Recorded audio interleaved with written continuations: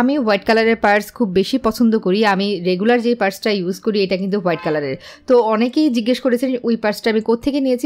বাংলাদেশে ম্যাক্সিমাম প্রোডাক্টই এখন চায়নার। তো আজকে আমার বাসায় একটা পিয়ার গিফট আসছে, এটা হচ্ছে চায়না মামা পেজ থেকে। পেজের নামটা আমার কাছে ভীষণ ভালো লাগল। চায়না মামা। যাই হোক খুব ভালোবাসার একটা নাম চায়নার প্রতি ভালোবাসা রেখে আমার কাছে মনে হয়েছে নামটা দেওয়া হয়েছে।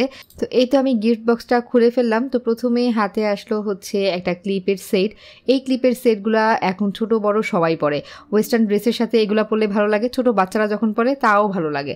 তো এই টাইপের ক্লিপের সেটগুলো আমার কাছে ভীষণ ভালো লাগে, কারণ একটা সেটের মধ্যেই বিভিন্ন ধরনের ডিজাইন পাওয়া যাচ্ছে। তো এই যে প্রথম দুইটা ক্লিপ হচ্ছে ব্ল্যাক অ্যান্ড হোয়াইটের মধ্যে স্টোনের কাজ করা, এর পরের দুইটা হচ্ছে মাল্টি কালারের আর একটা হচ্ছে একদম সিম্পলের মধ্যে। তো ওয়েস্টার্ন ড্রেসের সাথে ম্যাচ করে এগুলো পরলে কিন্তু ভীষণ ভালো লাগবে।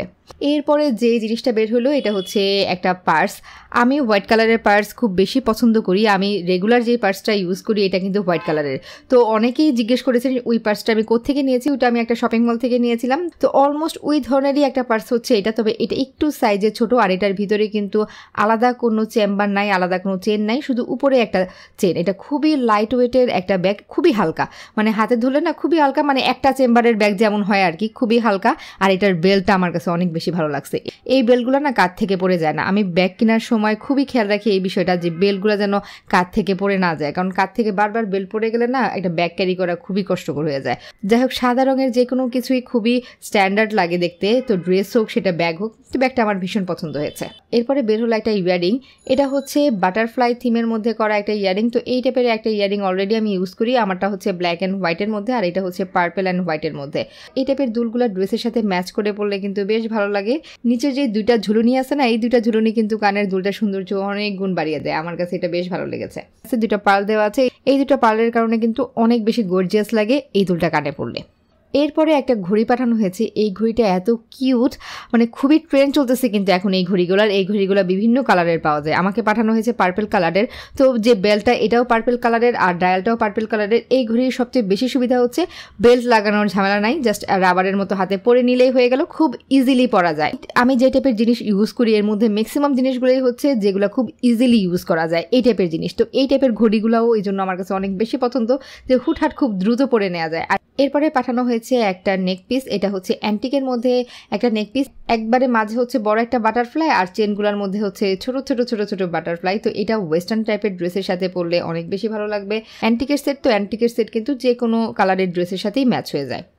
এরপরে পাঠানো হয়েছে একটা ব্রেসলেট। এটা হচ্ছে দুইটা চেনের একটা ব্রেসলেট মানে একসাথে দুইটা চেন হাতের মধ্যে থাকবে। এটার মাঝে একটা হার্ট শেপের ডিজাইন আছে। এই টাইপের ব্রেসলেটগুলো ওয়েস্টার্নের সাথে ভালো লাগে। যে জিনিসগুলো পাঠানো হয়েছে ম্যাক্সিমামে কিন্তু ইয়াং জেনারেশনের জন্য মানে স্কুল কলেজ গোয়িং মেয়েদেরকে পড়লে বেশি ভালো লাগবে। আর এই ব্রেসলেটটা গলার যে নেক পিসটা পাঠানো হয়েছে, এটার সাথে ম্যাচ করে পড়লে বেশ ভালো লাগবে।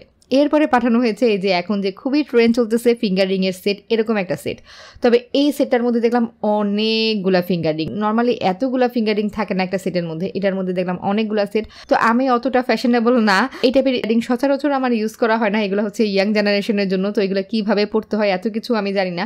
তো এই সেটটাও হচ্ছে অ্যান্টিকের সেট এটা হচ্ছে ব্ল্যাকের মধ্যে কাজ করা। এই ফিঙ্গারিং সেটটা ব্ল্যাক অ্যান্ড হোয়াইট থিমের ড্রেসের সাথে বেশি ভালো লাগবে। শুধু ব্ল্যাক কালারের ড্রেসের সাথেও ভালো লাগবে। তো আমি এই সেটগুলো যখনই আমার হাতে আসে আমি কনফিউজড হয়ে যাই যে কোনটা আগে পড়ব, কোনটা পরে পড়ব। এগুলোর আসলে কোনো নিয়ম কানুন নাই। আপনি যেভাবে পড়তে স্বাচ্ছন্দ্য বোধ করেন, সেভাবেই পরে নেবেন।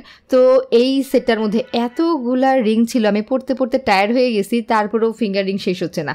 তো আমি যদি কখনো এটা পড়ি, আমি চেষ্টা করব দুই হাতে পড়ার, কারণ এক হাতে পরে এতগুলা রিং মানে পড়া সম্ভব না।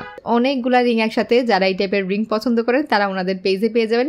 আমি উপরে চায়না আমার পেজটা ট্যাগ করে দেবো। তো ওনাদের সবগুলা পিয়ার গিফটের মধ্যে আমার কাছে সবচেয়ে বেশি ভালো লেগেছে হচ্ছে এই ব্যাগটা। ব্যাগের কালারটা ভীষণ সুন্দর। চায়না এই ব্যাগগুলো খুবই লাইট ওয়েটের হয়। ভিতরে যে অনেক বেশি জায়গা থাকে তা না। টুকটাক জিনিসপত্র নেওয়া যায়। আমার কাছে বেশ ভালোই লেগেছে ব্যাগটা। তো ওনাদের পেজে শুধুমাত্র যে এই প্রোডাক্টগুলোই আছে তা না, ওনাদের পেজে আরও সুন্দর সুন্দর প্রোডাক্ট আছে। আমি উপরে পেজটা ট্যাগ করে দিব। আপনারা যদি এই টাইপের প্রোডাক্ট দেখতে চান, ওনাদের পেজটা ঘুরে আসতে পারেন। তো আজকের ব্লগ এখানেই শেষ করে দিচ্ছি। সবাই ভালো থাকবেন, সুস্থ থাকবেন। আল্লাহ হাফেজ!